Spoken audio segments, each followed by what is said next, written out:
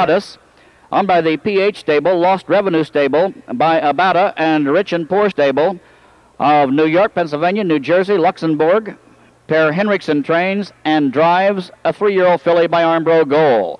Five, speeding down the lane, owned by Jim Longfellow of Carmel, Indiana. Dirk Simpson, the trainer, John Campbell is up. Another daughter of Lindy Lane, five, speeding down the lane. Six is Do Re Mi, on by the Joie de Vie farm of Jobstown, New Jersey. Per Erickson trains. Eric Ledford gets the call. A filly by Pine Chip.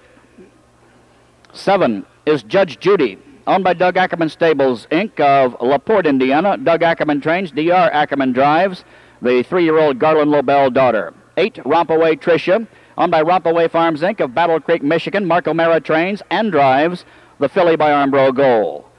Uh, number nine, Winning Chip, owned by Animat Miner of Delray Beach, Florida. Dwayne Miner trains and drives another filly by Pine Chip.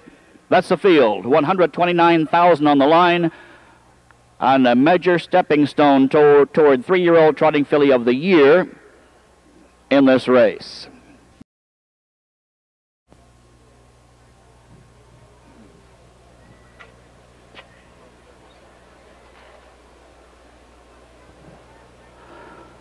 First heat of the World Trotting Derby for fillies.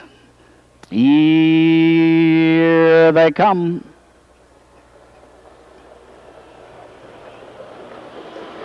And trotting in a beautiful start. Judge Judy will lead them on the outside of her. Rompaway Tricia gets out second. Far outside, rushing third comes Benedicta Jet down along the inside. Getting away well is Yankee Topaz. Still a three-way battle for the lead. Judge Judy had it, but on the inside, sneaking up, there's Yankee Topaz. Now she leads for McGee momentarily. Judge Judy on the outside now takes command. Rompaway Tricia is third. Fourth to the inside, Victory My Way. Five is Vikings Goddess. Trotting six, Do Re Mi. Seven is Family Trust. Racing eight now, Benedicta Jet. Nine as they race past the quarter is winning chip. And after mistake, still off stride, speeding down the lane is 10. They're off the turn, down the backstretch, 27 1. Good front quarter to the outside. There goes Yankee Topaz. And McGee quickly moves her. She's now on top before the half. She leads it by a length, a length and a half. And underway on the outside, here comes Victory My Way. Miller sends her early. She is pursuing the lead before the half, and she has it. On the outside, Victory My Way takes over. Yankee Topaz covered second. Moving up comes Vikings Goddess third. Locked in for Judge Judy, fifth on the outside.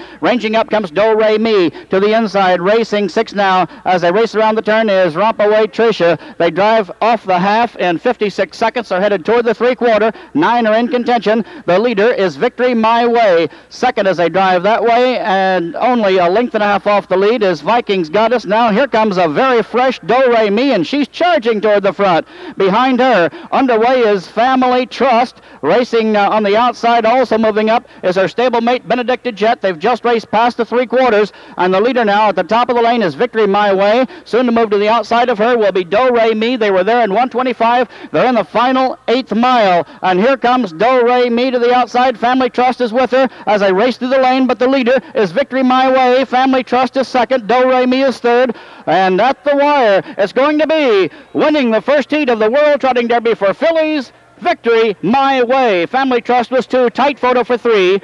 In that photo will be Do Re Mi and Rompaway Tricia, fifth to Benedicta Jet.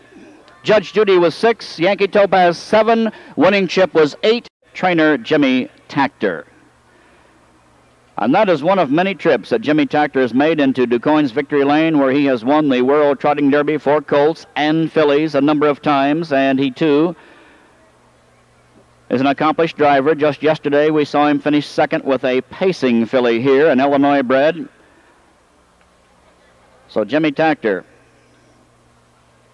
recognized as one of the leading trainer drivers ever from the very prolific nation of Sweden,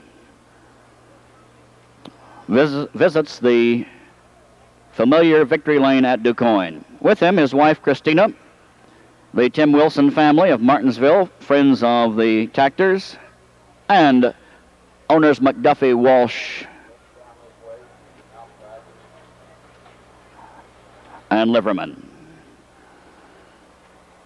There she is, handily in 54 and 4, winning the first heat for fillies. Victory my way. Takters' father Also a prominent driver